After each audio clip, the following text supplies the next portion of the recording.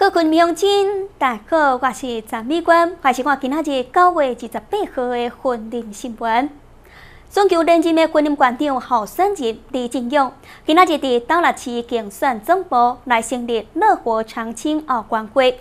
会长有来自二十乡镇市奥关会会长甲副会长参加授证仪式，同时嘛有多位乡镇市长甲地方候选人来组织，希望讲这次民进党各候选人会当顺利当选，和全关已经推行真有成绩的中正食堂甲长照二点空的政策愈办愈好，做好婚姻观搁较侪准备。孙球连任的民进党婚姻馆长候选人李进勇，二十八号这天竞选总部是热闹滚滚，来了真侪故乡支持阿公阿妈组成奥运会来为李进勇徛台收听。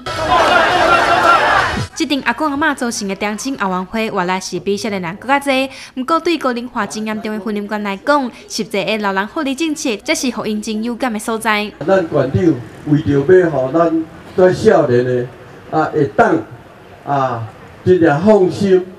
啊，去上班，去做工课，去赚钱，啊，在长者由咱啊政府来甲伊照顾安尼吼，啊，所以啊，咱啊在即个长照二点零呢，相信有诶啊，抑阁足无了解吼，那么啊，希望即个长照二点零呢，会当甲伊充分的利用吼。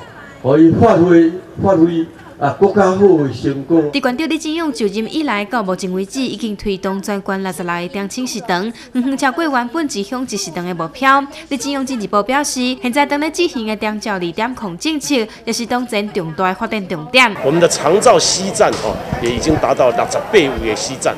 那现在呢，就是把长照的这个西站和咱的长青食堂结合在一起。就是讲老大人等出来时阵，除了食饭之外，吼，要各位当参加这些乐龄的学习。另外呢，还有长照西站的服务的资源，把它的注入到这个啊食堂里面来。啊，这是专台湾吼独创的一个服务的模式。咱的老大人呢，啊，拢非常的欢喜的。来自关内二十个乡镇市奥运会会长、副会长，今仔日也一接受受证。大家唔那希望拍赢选战，更加希望婚姻关的老人福利会当愈办愈好，照顾好婚姻是大人。哎呦哎呦！记者陈伟从不到。